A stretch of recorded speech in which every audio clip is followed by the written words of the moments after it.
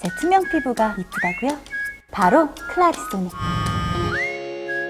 자, 이제 클렌징 해볼까요?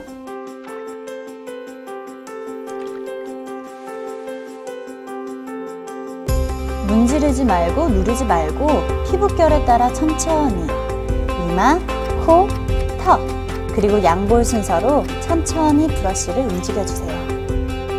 와, 60초 안에 클렌징이 끝났어요.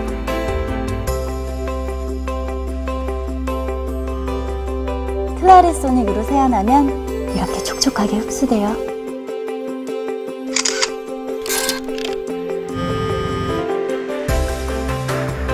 어, 부드러워. 더욱 부드럽고 촉촉한 왁스 브러쉬. 바디도 클렌징 할 수 있어요. 이렇게 움직여주면 다리도 매끈하게. 바디 관리도 끝!